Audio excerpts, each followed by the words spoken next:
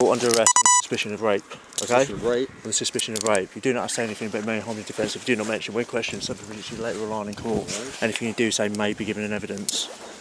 Okay, the reason why, at the moment, Yeah. you match the description of an image that's been sent to us Yeah. that I believe might be yourself, my friend, okay?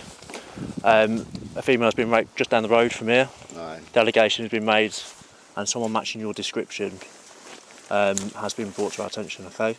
Okay. My colleague, colleague will sit Mind your head, beside mate, as you get in, yeah? Yeah, go on, if you just sit at the, to the right